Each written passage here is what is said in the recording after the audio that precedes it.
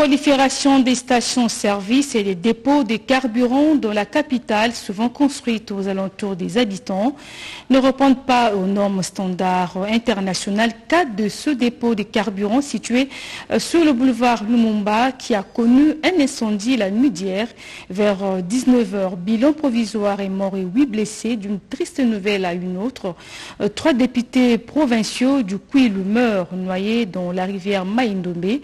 Ils étaient à bord d'un véhicule qui transportait huit personnes, dont quatre élus.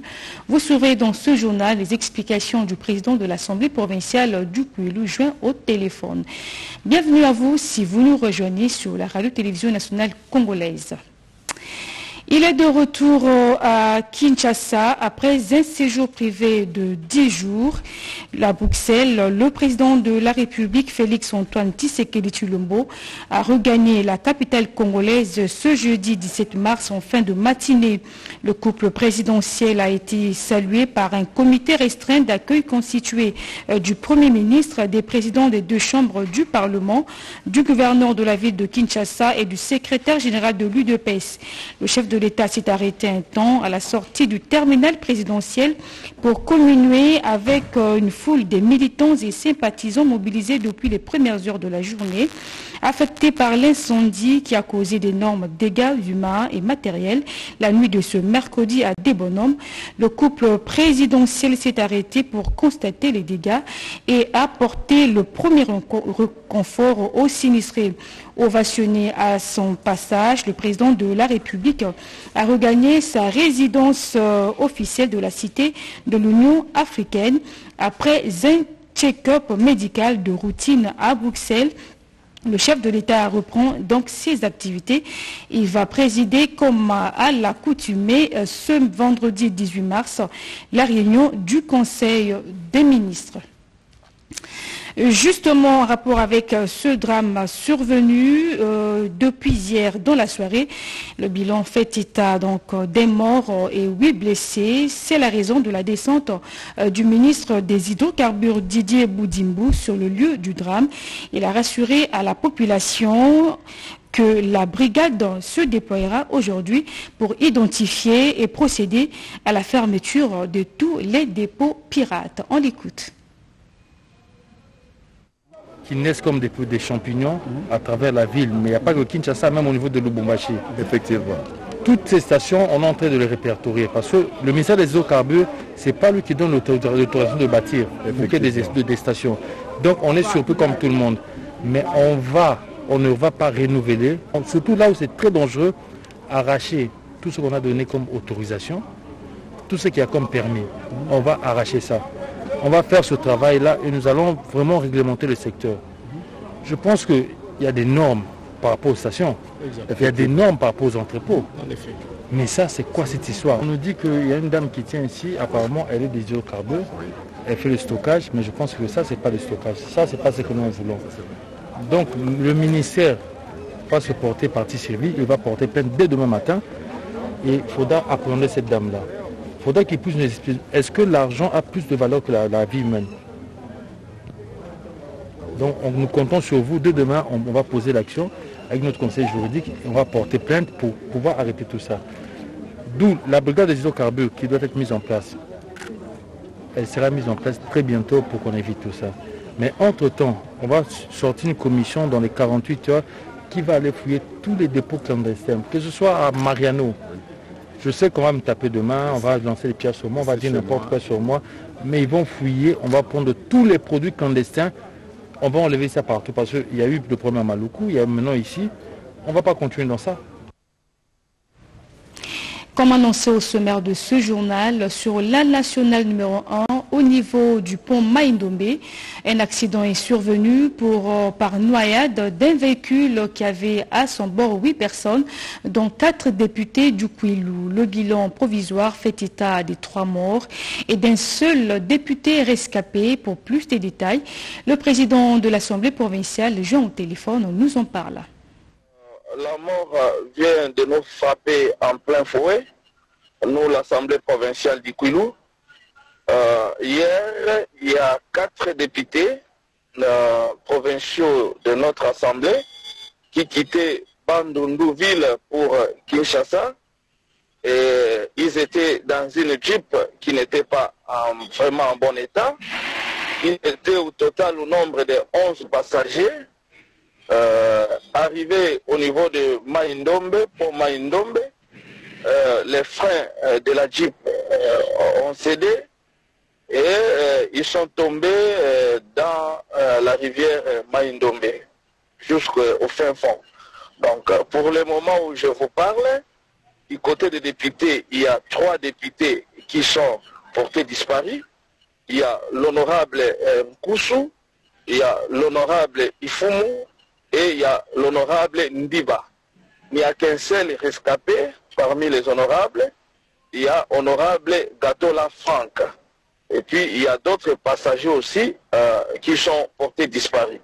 Pour le moment où je vous parle, je suis en route vers les lieux de l'accident pour chercher comment dépêcher les corps.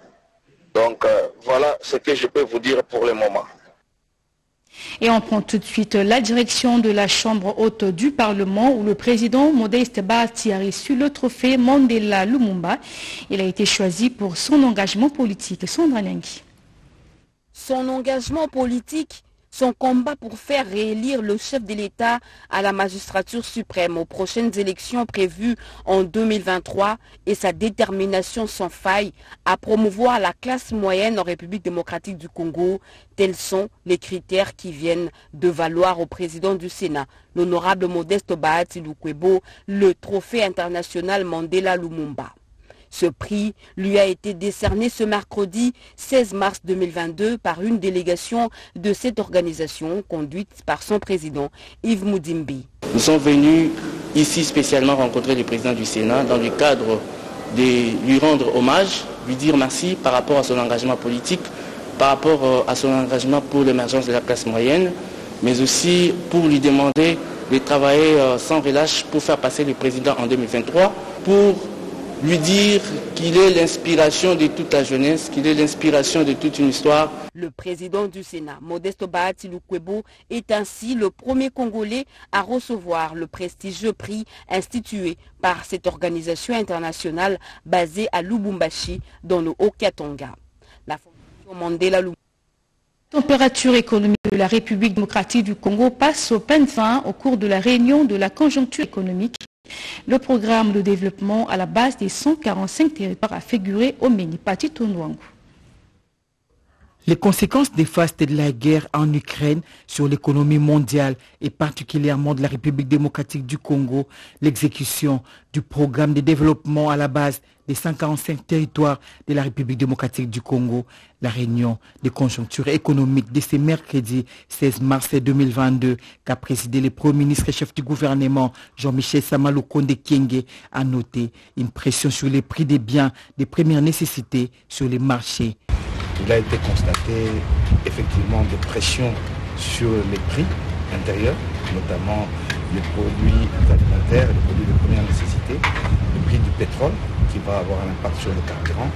Et donc le Premier ministre a instruit euh, les membres du comité de conjoncture et l'ensemble des ministres sectoriels du gouvernement de bien pouvoir lui transmettre ce qu'ils considèrent comme impact dans leur secteur respectif le comité de conjoncture va réfléchir également sur les mesures d'atténuation.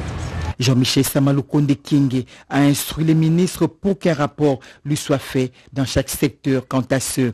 Le comité de conjoncture économique a également relevé le premier décaissement pour les débuts des travaux sur terrain du programme de développement à la base des 145 territoires de la République démocratique du Congo. Nous avons également euh, réfléchi sur euh, l'exécution du programme de 145 territoires.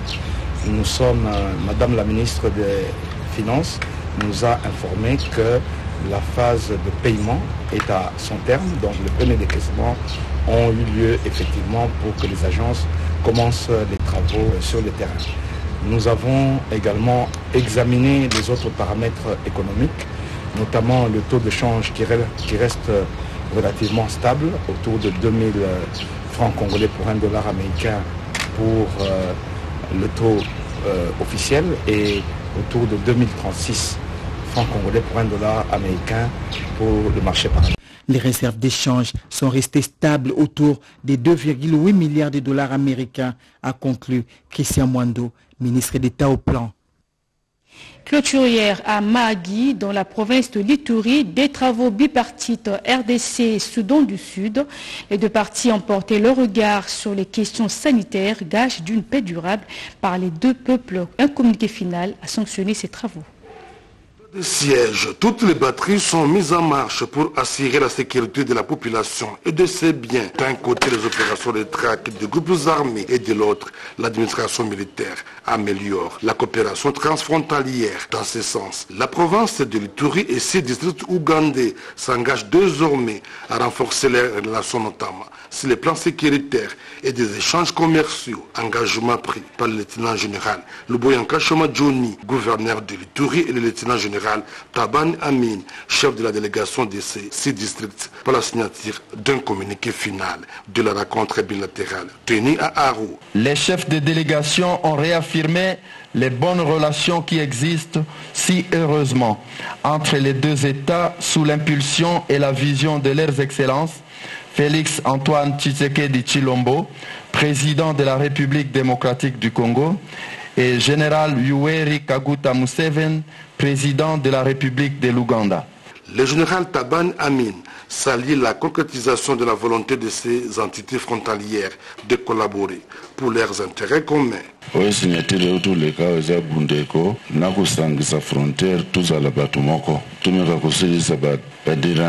frontière sécurité Pour le lieutenant général Luboyan Kachoma Johnny, cette bipartite a ouvert la voie à une nouvelle ère de collaboration entre l'Ituri et ses six districts ougandais.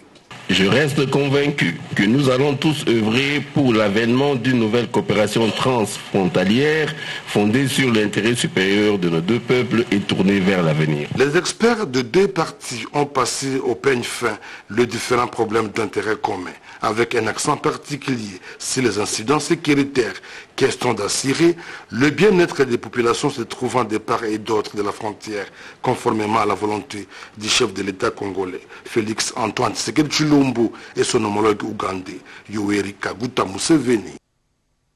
En dehors de nos frontières, à New York, aux États-Unis, la République démocratique du Congo a pris part à la 66e session de la Commission de la femme.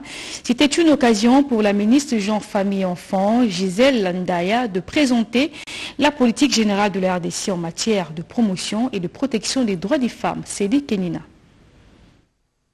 Pays solution dans les dérèglements climatiques, la République démocratique du Congo a répondu présente à la 66e session de la Commission de la condition de la femme à New York aux États-Unis. Parmi les 173 États membres, les agences du système des Nations Unies, les organisations non gouvernementales, la voix de la RDC a été portée par la ministre du Genre, Enfants et Famille, Gisèle Ndaya, qui a, dans sa prise de parole, salué l'évolution remarquable de la femme dans divers domaines de la vie active à l'échelle mondiale. Et l'égalité hommes et femmes doit être considérée comme un déterminant central dans la résolution des problèmes socio-économiques, a souligné la patronne du genre, faisant mention des priorités de son pays, la RDC, axée évidemment sur les développements inclusifs, une prospérité partagée travail décent pour les femmes, l'élimination de la pauvreté, la lutte contre les violences faites aux femmes, leur présence dans les cercles de prise de décision et les tout sous le leadership du chef de l'État Félix Antoine Tshisekedi. Le gouvernement de mon pays a validé 10 mesures urgentes relatives à la gestion durable des ressources naturelles forestières. Au nombre de ces mesures, il convient de citer l'institutionnalisation de la taxe carbone et la création de l'autorité de régulation du marché carbone. Le gouvernement de mon pays a instruit à tous ces secteurs d'intégrer les questions spécifiques lors de l'élaboration du plan national socio-développement. Mon ministère, celui du genre, famille et enfants, dispose d'un système d'information statistique genre, qui est un mécanisme de coordination interinstitutionnelle relatif aux statistiques du genre. Dotée des ressources naturelles impressionnantes, la RDC se veut également pilier dans la promotion et protection des droits de la femme. Permettre à chaque Congolais d'avoir accès au processus électoral, tel a été l'objectif principal de cet atelier ouvert hier euh, sur la cartographie des centres d'inscription des électeurs. Ces travaux ont été lancés par le président de la CENI, Denis Kadima. Des observations en recommandations pour une cartographie plus équilibrée, pour une accessibilité plus accrue, recommandations du président de la Commission électorale nationale indépendante, Denis Kadima Kazadi, qui a ouvert ce mercredi 16 mars 2022 un atelier sur la cartographie opérationnelle qui devra durer deux jours. Le président de la CENI a dit attendre des participants des contributions en vue d'avoir, au bout du compte, une cartographie beaucoup plus équilibrée la cartographie des centres d'inscription.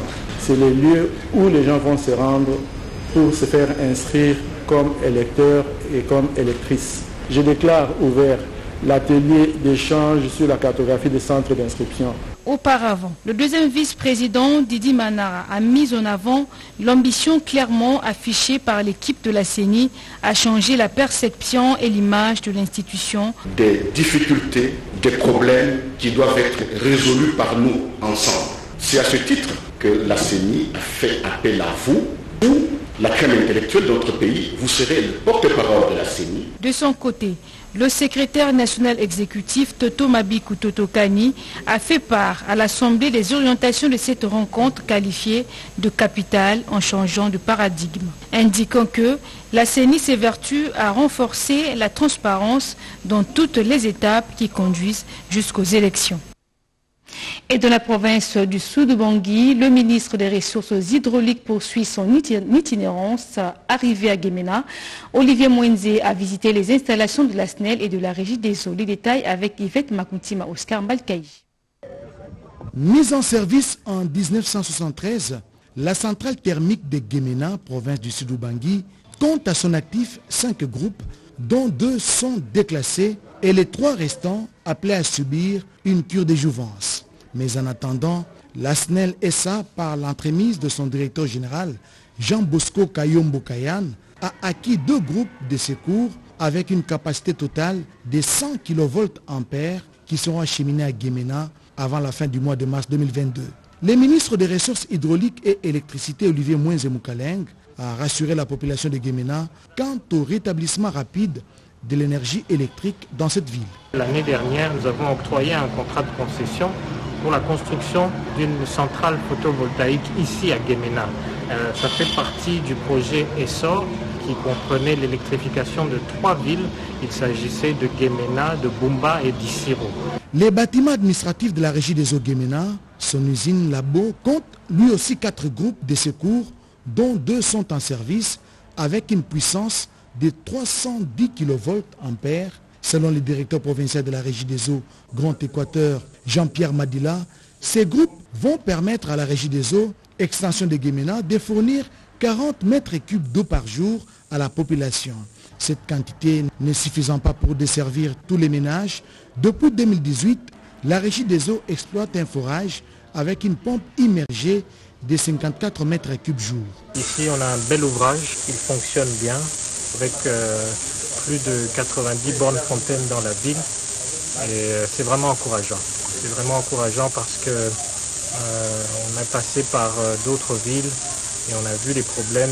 Mais ici, pour une fois, on est là et on sent que les choses fonctionnent. C'est tard dans la soirée que le ministre des Ressources hydrauliques et électricité Olivier Mouenze Moukaleng a bouclé sa visite d'inspection à l'étape de Guémena, province du Sud-Bangui. Au deuxième jour du séminaire de renforcement des capacités des membres du cabinet du chef de l'État, la parole a été accordée aux responsables des services de sécurité qui ont fourni des informations de portée générale que chaque membre du cabinet est censé d'intérioriser pour une meilleure collaboration des services. Guélin Kabalundi, Kazadi. Comprendre le fonctionnement des différents services de sécurité présidentielle et leurs interactions avec les autres services de la présidence, c'est l'exercice auquel se sont livrés les responsables civils et militaires du cabinet du président de la République. Pour cette deuxième journée du séminaire, la parole a été accordée au coordonnateur de la sécurité interne Didier Baitopala ainsi qu'au commandant de la garde républicaine, le général-major Christian Chiwewe. Sans entrer dans les détails opérationnels, les responsables de sécurité présidentielle ont fourni les informations de portée générale que chaque membre de cabinet est censé intérioriser pour une meilleure collaboration des services. Sous la modération du directeur de cabinet adjoint chargé des questions économiques André Wameso, la session s'est déroulée sous le format d'un panel. Les questions et réponses ressorties de cet échange interactif ont permis au cadre du cabinet du chef de l'État de comprendre l'importance accordée aux questions sécuritaires dans le travail au quotidien. La session va se poursuivre et s'est clôturée ce jeudi avec cette fois les exposés des services du protocole d'État, de l'intendance et de la logistique. Autre fait de l'actualité, bâtir une Croix-Rouge efficace, compétitive, innovante, thème retenu cette année à l'Assemblée générale ordinaire de la Croix-Rouge RDC, un forum organisé du 16 au 18 mars 2022. Joël Makela nous en parle. Après deux rendez-vous annuels manqués suite à la pandémie de la Covid-19, la Croix-Rouge RDC, comme à l'accoutumée, a convoqué son Assemblée générale ordinaire, session 2022. Les participants à ces assises vont réfléchir autour du thème Bâtir une Croix-Rouge efficace, compétitive, innovante et proactive. Pour le président national de la Croix-Rouge RDC, ces travaux de deux jours vont se pencher sur l'évaluation des activités réalisées durant toute une année au profit des plus vulnérables. Ce grand travail d'une année durant ne peut être une réussite qu'avec le concours de tous. Ainsi, nous remercions le gouvernement de la République pour leur appui et les partenaires du mouvement pour leur accompagnement sans faille dans l'exécution des différents projets. À cela s'ajoute le bilan détaillé par rapport aux objectifs fixés par la société nationale en vue de l'émergence de la Croix-Rouge dans le contexte congolais. Les initiateurs se montrent déjà optimistes quant aux résultats de ce forum. Nous osons croire que les travaux de ces assises nous permettront de trouver des solutions durables aux problèmes liés à la bonne gestion de la pause de la République démocratique du Congo. Cette Assemblée générale ordinaire 2022 bénéficie de l'appui de la Croix-Rouge internationale, d'où la présence des représentants de la France, de la Belgique, de l'Espagne et de la Suède. Et puis sachez que l'ambassadeur de France en RDC est arrivé aujourd'hui 17 mars dans la province du Lualaba. C'est sa première visite dans cette partie du pays. Il a été accueilli par la gouverneure intérimaire accompagnée de quelques membres de l'exécutif provincial. Les détails dans ce reportage. Il est arrivé au Lualaba ce mercredi 16 mars 2022 par l'aéroport national de Kolwezi. L'ambassadeur français en République démocratique du Congo a été accueilli par Madame le gouverneur intérimaire, accompagné de quelques membres de l'exécutif provincial. Le diplomate français est arrivé également au gouvernorat où il a échangé avec l'autorité provinciale en présence du ministre provincial de l'Intérieur, Deodaka Penda. La séance a été sanctionnée par une visite de différents compartiments de l'hôtel du gouvernement provincial, comme la salle de conférence et la salle de réunion. Une autre séance de travail a eu lieu dans la salle de conseil avec certains ministres sectoriels. Bruno Aubert a eu un aperçu général de la province du Lalaba fait par la gouverneure AI.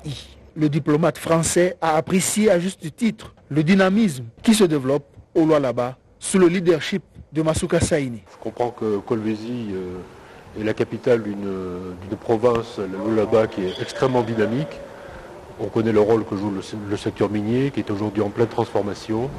Et l'enjeu était pour moi d'échanger avec le gouverneur, avec son équipe, de toutes les actions qui sont menées, les actions de, réforme qui touchent le secteur minier, mais tous les secteurs qui, sont, liés aux, activités, euh, à cette activité économique, par extension et, également qui, ont un impact sur la, sur la vie des populations.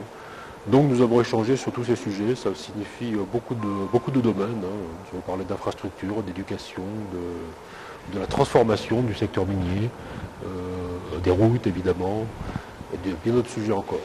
L'ambassadeur français en RDC a également confirmé l'apport de son pays dans certains secteurs de la vie. Bah, ce que nous pouvons apporter de concret, c'est intéresser euh, des opérateurs économiques, intéresser des investisseurs, nouer des partenariats universitaires, j'espère, dans des secteurs euh, de, pointe, le secteur de l'ingénierie, mais d'autres secteurs qui peuvent intéresser évidemment le développement du, pays. Et puis nous avons plein de, plein de sujets communs avec la République démocratique du Congo à défendre, qui sont des sujets scientifiques aussi. Hein. Je pense au changement climatique, on, a, on a à peine touché le changement climatique, mais on en parlera la prochaine fois. L'approvisionnement en métaux rares, tous ces sujets, c'est des sujets au sujet desquels nous avons des intérêts communs à partager.